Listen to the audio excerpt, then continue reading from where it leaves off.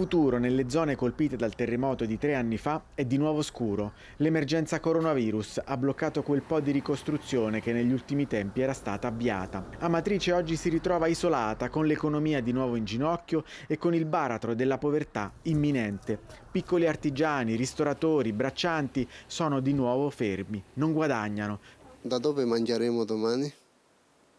Siamo già in una situazione molto difficile. Il 30 o 40% arriveranno a questa, questa problematica.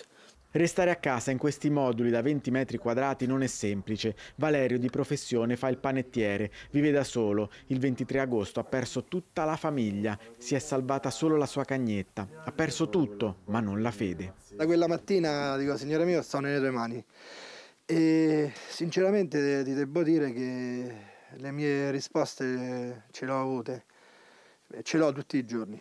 Non avendo più una famiglia, bisogno di rendermi utile a, a, a persone che hanno, che, che hanno, bisogno di aiuto. Ecco. Ed è proprio la solidarietà che anche qui ad Amatrice fa la differenza per chi non ha più un lavoro, per chi è isolato, per chi è malato.